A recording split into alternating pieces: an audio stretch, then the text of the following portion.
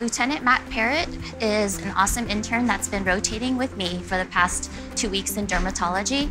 So we're heading down right now to morning report for all of family medicine, and Matt and I will be giving a morning report, and that includes case reports as well as uh, a talk uh, about the importance of sunscreen use. I'm uh, Lieutenant Parrott. I'm on derm right now with Dr. Nguyen. Um, so we'll start off with some cases. Um, that I'm going to present, and then Dr. Nguyen's going to talk about some of the specific details of that. And then if we have time, we'll go on to uh, just a brief um, sunscreen uh, talk. I get the privilege of working with residents, including medical students and interns. I see their strengths, I work with their weaknesses and help them round that out. And I teach them how to not only be a better physician, but be a physician leader.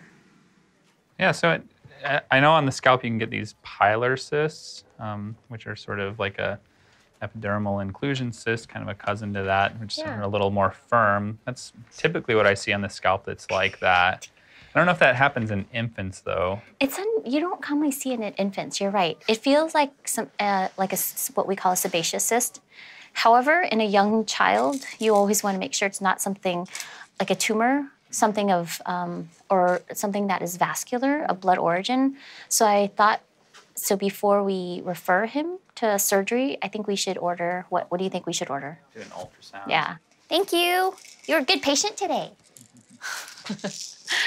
All right. Thank you, Pastor Meekins. It's nice to meet you.